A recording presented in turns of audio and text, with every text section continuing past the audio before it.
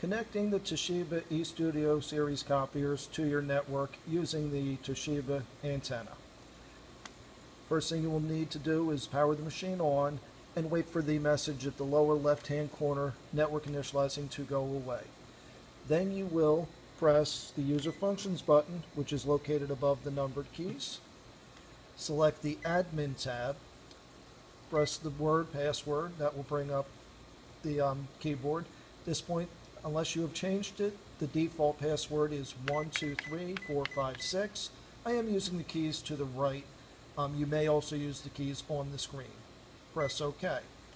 You will see with the wireless antenna that the wireless settings are turned on. Press OK. To check if it's already connected, press setting check. And as you can see, we're at 100% transmission and disconnected. To connect it at this point, press wireless settings, turn it on, press next. At this point, you'll need the settings for your network. In our case, infrastructure is the correct option. At this point, you would select available network, and it will search for the available networks. As you can see, copier one we've already connected to. Select the one you need, press OK, and next. At this point, you'll need to know which security type your system is using, as ours is already pre-filled in. Again, press next.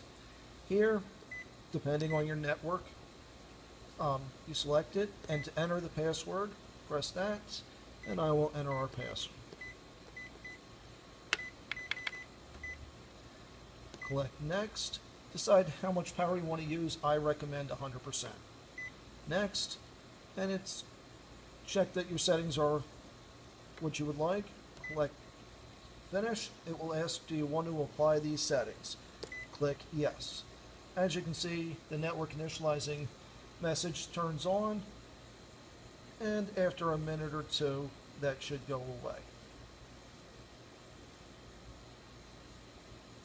Once it has gone away, you can touch the wireless settings button and check whether it's connected properly or not. Thank you very much for watching this video and have a great day.